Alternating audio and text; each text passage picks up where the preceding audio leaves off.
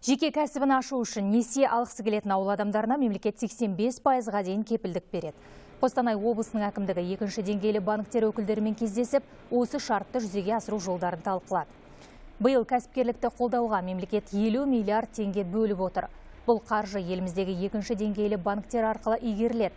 Биыл бизнестің жол картасы бағдарламасы бойынша Қостанай облысына 1 миллиард 400 миллион теңге қаржы бөлінді. Соның үштен бірі жаңа жобаларға беріледі. Облыстың оңтүстік аудандарында екінші деңгейлі банктердің филиалдары жоқ. Сол себепті шағын қаржы ұйымдарының қызметі пайдаланылмақ.